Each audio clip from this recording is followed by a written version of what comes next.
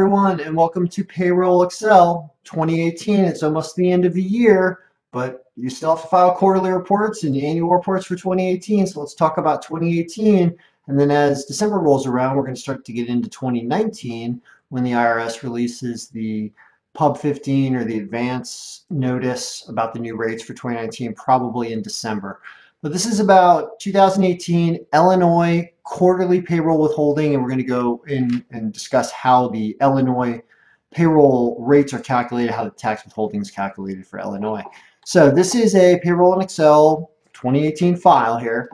Um, what you get from Illinois is uh, an Illinois W-4 your employees have to fill out. This is what it looks like. It's going to ask you if anyone else can claim you as a dependent, uh, or if you claim your spouse as a dependent, you're going to enter, you know, say no one else can claim you as a dependent, but you're not married, you would put a 1 here.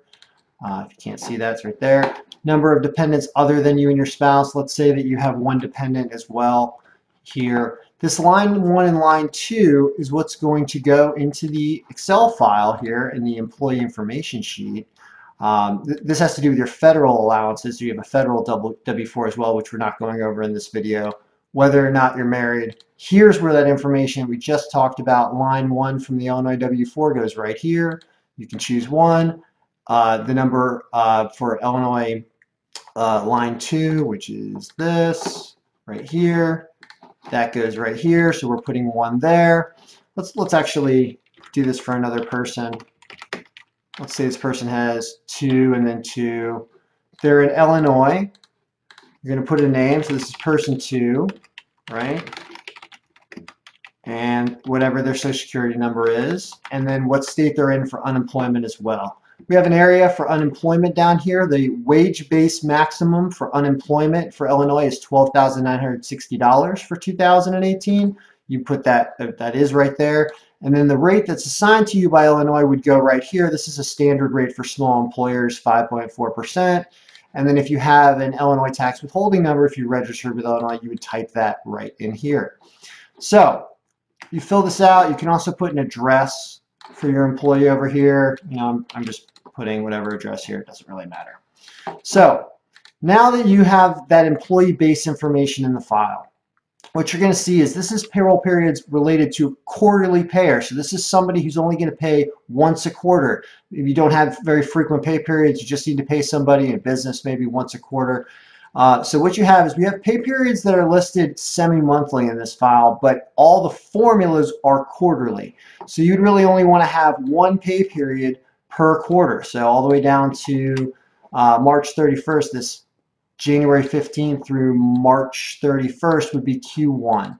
So let's put a random pay period in here. Let's say somebody worked 300 hours in the period and they get $25 an hour. And maybe they got $2,500 commission as well. Uh, let's not worry about 401k. We're going to hide that. Let's not worry about per diem. Let's hide that as well. Keep, keep in mind that there are a ton of different columns in this file that are going to allow you to do almost anything you want or we can program any scenario you want. You can see how many there are right here. There's just tons of different formulas to allow you to run any payroll scenario that you want. But we're going to focus on less right now. Okay, so we're back over here. So we've entered in information about a payroll period on February 15th. And you can see that a taxable gross amount, which is automatically calculated here, will be $10,000. So that's 300 times 25, that's 7,500 plus the 2,500 commission we just added in. So now let's get into how the Illinois uh, allowances and state tax are actually calculated.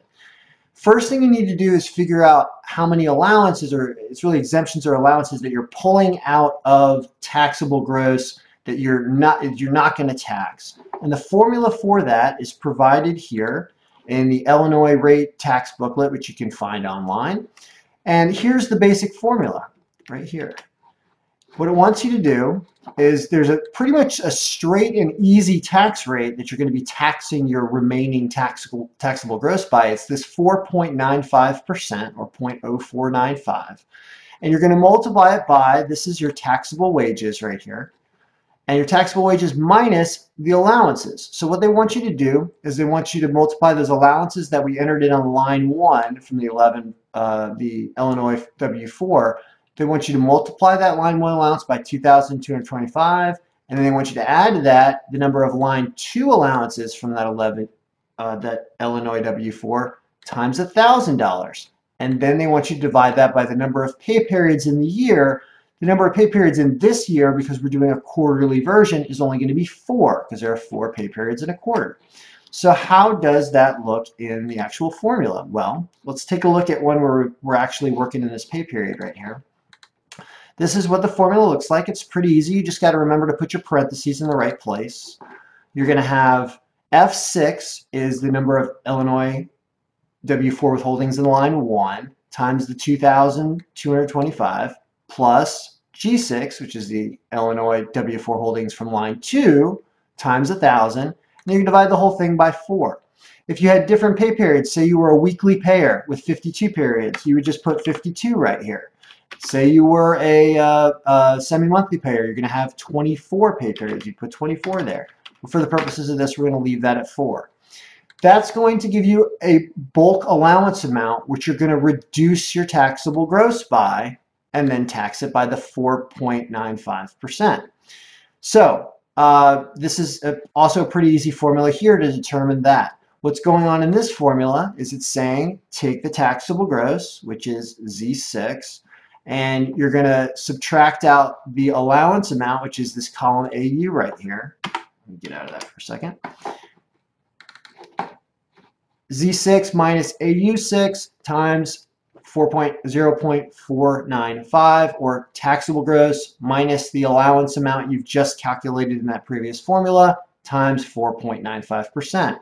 Add a little uh, additional part in front of this formula so that you don't have any errors in this file. It's first checking to make sure that your taxable gross, Z6 minus AU6, is greater than zero. You know, if it's less than zero, meaning after you pull all your allowances out of your taxable gross, you end up with a number that was less than zero or a negative taxable amount, that it wouldn't screw up your formulas and make you tax negative money and cause any problems. So that's why there's this little provision here in this if formula right there. And then it's pretty straightforward and you've got your tax. Um, and and uh, we also have quarterly tax rates. I've never done a quarterly file before, so I'll also paste these quarterly tax rates. This is from the Pub 15 or the Circular E, the federal release about what the rates are. The rates are pretty complicated, so we won't go them. It's, it's a long rounding formula. If you've seen any of my previous formula um, videos on uh, tax rates and how to tax federal tax, uh, I can paste this formula, but it, it's a really complicated long for, formula, but that is how you write that. Um, you write a different one for single and a different one for married.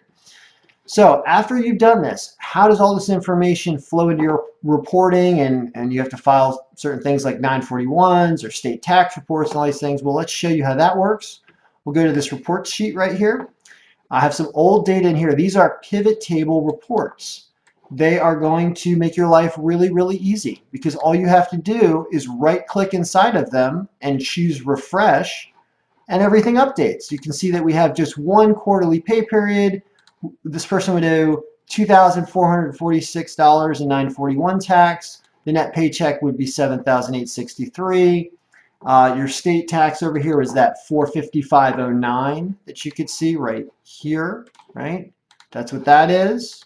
This is your state tax report. They, they refresh together. You can always toggle by different pay periods and see which pay period that was. It was the 215 pay period that related um, to what we're doing right now.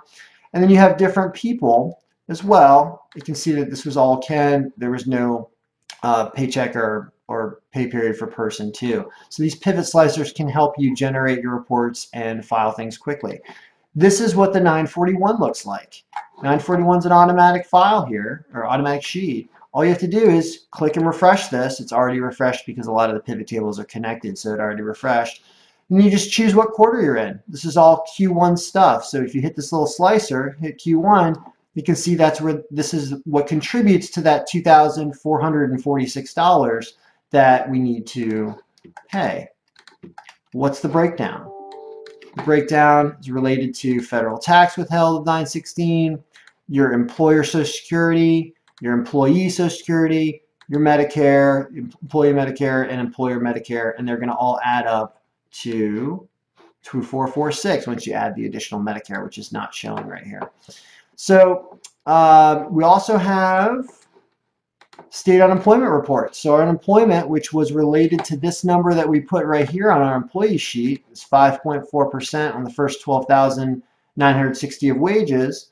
You can see that uh, this full 10,000 would be subject to UI, subject to unemployment, because it's less than 12,960.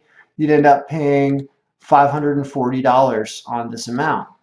If you went in and you had additional money, say we had some additional commission in a later pay period of another $5,000, okay? You could go back to the UI report and refresh and watch what happens. Actually, make this a little easier for you to see. Just refresh and all of a sudden you see that we end up with excess wages because we're over this 12,960. This 15,000 is more than that. Uh, so we have excess wages and your total UI tax for the quarter would be this. FUTA report, similar situation. It's like 6% um, or 0.06%, I think. And um, that would end up being $42 if we refresh this for $7,000 are taxable for FUTA if you pay your federal unemployment tax on time. Um, we also have a W-2 sheet right here. It'll help you file your W-2s and break down everything here. Also refresh this table and you can see everything like gross wages, taxable wages, bases, everything that goes on your W-2 sheet and we can add columns as need be if you have other special scenarios that are not being shown in this file. Uh, and then also this generates a pay stub as well. So that's what your pay paycheck looks like for that one period. $7,863 for that quarterly pay period. Notice, actually notice we did something that we would normally do. We would not have two pay periods here because it's a quarterly payer. So generally they're only going to pay once for the quarter. So this really would not be the way you'd want to do it. You want to have, this payment would have to be in a separate pay period, something like that. So that's Illinois tax withholding in Excel. If you're interested in purchasing a payroll in Excel file, go to kenbraverman.com, contact me, and I can get you set up. If you have a small business, I guarantee this is the least expensive option for running payroll for your own business. That's my guarantee. Um, I've been doing it for like at least eight or nine years, and I'm going to continue to do so. So get ready for 2019, and may payroll be easy because that's what it's supposed to be.